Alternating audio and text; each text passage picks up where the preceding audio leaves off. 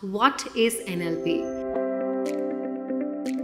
I help you to give you that formula which I have learned using the processes of NLP and NLP processes and the toolbox is such that if anyone can learn it deeply with modeling, NLP can facilitate you for being a key maker and creating any kind of key having the formula in your hand.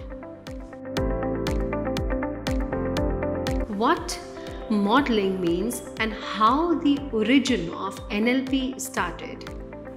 Modeling means being assimilating information, just doing what the other person is doing, cut, copy, paste like a monkey see, monkey do, like the way we have been doing as a child.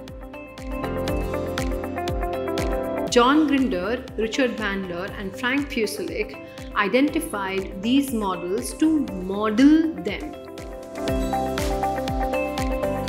So it is a toolkit which has processes and these processes can then further be utilized to do a change work for transformation with anyone, literally anyone.